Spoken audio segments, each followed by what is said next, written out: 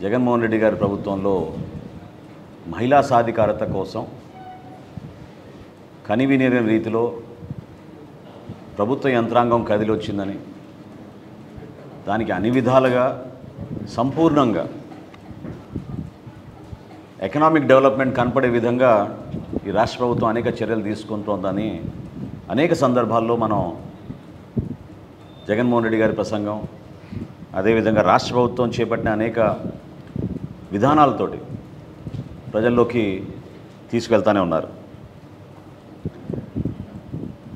గత కొన్ని రోజులుగా ఆంధ్రప్రదేశ్ ప్రభుత్వంలో క్షేత్రస్థాయిలో ఒక నిగూఢ అన్వేష అన్వేషణ సాగుతోంది. ఎంత ఆసక్తికరమైన విషయం అంటే ఇది. దేనికోసం ఈ క్షేత్రస్థాయిలో ఈ అన్వేషణ అంటే సుమారు మూడు లక్షల ఎనభై ఐదు వేల పాడి పశువులు కనపడడం లేదని చెప్పి ఈ ప్రభుత్వ అధికారులు క్షేత్రస్థాయిలో పర్యటించి తేల్చారు. దీని వెనక చాలా భారీ స్కామ్ జరిగింది. నవంబర్ ఐదు రెండు వేల ఇరవైలో రాష్ట్ర ప్రభుత్వం క్యాబినెట్ తీర్మానం చేసింది.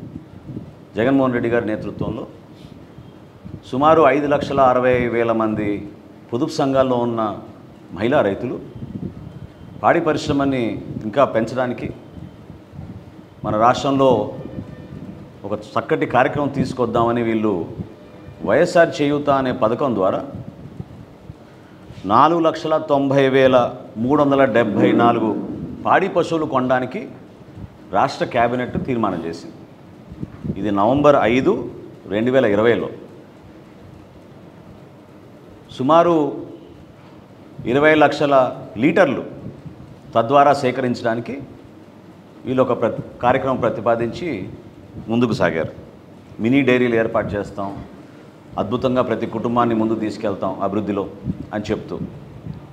నాకు బాగా గుర్తు స్వర్గీయ రాజశేఖర రెడ్డి గారు ముఖ్యమంత్రిగా ఉన్నప్పుడు పశుక్రాంతి పథకం కింద ఉమ్మడి రాష్ట్రంలో అప్పుడు ఆంధ్రప్రదేశ్ తెలంగాణ కలిసి ఉన్నప్పుడు రెండు వేల పదిహేనులో యాభై వేలు పాడి పశువులు కొనడానికి ఒక కార్యక్రమం ఆ రోజున ముందుకొచ్చారు.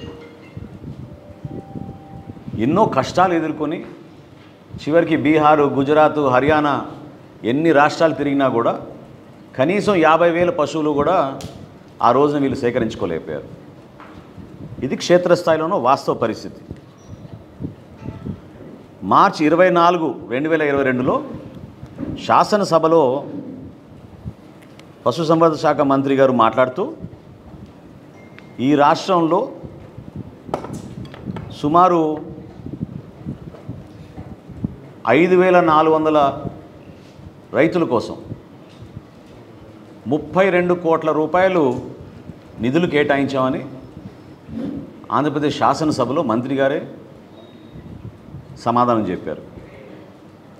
ఇది దేనికి ఇది లోన్ కింద పశువులు కొనడానికి కోసం రాష్ట్ర ప్రభుత్వం ముందుకొచ్చి ఐదు వేల నాలుగు వందల ఒక పశువులు కొనడానికి దానికి ముప్పై రెండు కోట్ల రూపాయలు కేటాయిస్తూ ప్రభుత్వం మంజూరు చేసిందని ఆయన చెప్పారు. ఇదే ఆంధ్రప్రదేశ్ శాసనసభలో స్వల్పకాలిక చర్చ జరుగుతోంది మహిళా సాధికారత కోసం. సెప్టెంబర్ ఇరవై ఐదో తారీఖున రెండు వేల ఇరవై రెండులో ఆ రోజు మహిళా సంక్షేమ శాఖ మంత్రి గారు మాట్లాడుతూ చేయూత పథకం కింద చేయూత పథకం కింద మహిళా సాధికారత కోసం రెండు లక్షల ఎనిమిది వేల ఏడు వందల తొంభై పశువుల్ని కొనుగోలు చేశామని చెప్పారు. రెండు లక్షల ఎనిమిది వేల ఏడు వందల తొంభై పశువులు కొనుగోలు చేశామని మంత్రి గారు చెప్పారు. చాలా విచిత్రమైన పరిపాలన ఎట్లా సాగుతోందని తెలియడానికి మీరందరూ కూడా దయచేసి అర్థం చేసుకోవాలి ఈ రాష్ట్ర ప్రజలు. దాని మరుసటి రోజే అంటే ఈ ఈ చర్చ జరిగింది సెప్టెంబర్ ఇరవై ఐదు రెండు వేల ఇరవై రెండులో.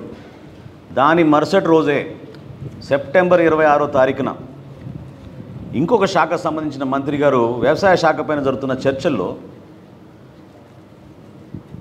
ఆయన చెప్పిన సమాధానం పాల వెల్లువ అనే పథకం కింద ఈ రాష్ట్ర ప్రభుత్వం మూడు లక్షల తొంభై నాలుగు వేల పాడి పశువులు కొనుగోలు చేసిందని చెప్పారు.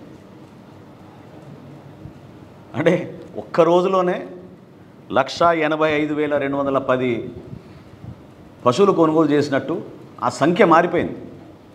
ఇది శాసనసభలో జరిగిన చర్చల్లో మంత్రి గారు చెప్పిన సమాధానం ప్రభుత్వం నుంచి ఆ రోజు ఇచ్చిన లెక్కలు. నిజంగా ఇది ఇది పాల వెలువ లేకపోతే పాపాల వెలువ అనేది మనం ఈ రాష్ట్ర ప్రజలు అర్థం చేసుకోవాలి. ఈ వివరాలు కొన్ని రోజుల క్రితం ఒక ఉన్నత స్థాయి సమీక్షా సమావేశంలో బయటపడ్డాయి. ప్రభుత్వ అధికారులు పుస్తకాల్లో ఉన్న లెక్కలు. దాదాపు రెండు లక్షల పై చిలుకు మనం పాడి పశువులను కొనుగోలు చేశామని సమర్పించినప్పుడు క్షేత్రస్థాయిలో పోయి ఒకసారి గ్రామాల్లో తిరిగి యానిమల్ హస్బెండరీ డిపార్ట్మెంట్ అదేవిధంగా ఏపీ డైరీ వాళ్ళని ఆదేశించి ఒక నివేదిక రాష్ట్ర ప్రభుత్వానికి అందించమని కోరారు. ఇందులో తెలియని లెక్క ఏంటంటే సుమారు ఎనిమిది వేల పశువులే కనపడ్డాయి క్షేత్రస్థాయిలో. కేవలం ఎనిమిది వేల పశువులు. అంటే ఎంత రీసైక్లింగ్ జరిగిందో ఎంత మోసం జరిగిందో తెలియడానికి ఒక గేదెని వీళ్ళు కొనుగోలు చేస్తే అదే గేదెని అనేక మంది కొనుగోలు చేసినట్టు లెక్కల్లో చూపించుకుని మాయమైపోయినాయి. ఇందులో మనం ఆశ్చర్యపోవాల్సిన విషయం ఏంటంటే ప్రభుత్వ అంచనాల మేరకు మన రాష్ట్రంలో ఒక పాడి పశువును మనం కొనుగోలు చేయాలనుకుంటే డెబ్బై ఐదు వేలు ఖర్చు అవుతుంది ఇతర రాష్ట్రాల్లో మనం కొనుగోలు చేస్తే హర్యానా కానివ్వండి బీహార్ కానివ్వండి కొన్ని సందర్భాల్లో గుజరాత్ కూడా వెళ్ళారు. కొనుగోలు చేస్తే ట్రాన్స్పోర్టేషన్ అవన్నీ కలుపుకొని ఎనభై మూడు వేలు అవుతుందని ఇది ప్రభుత్వ అంచనాలు.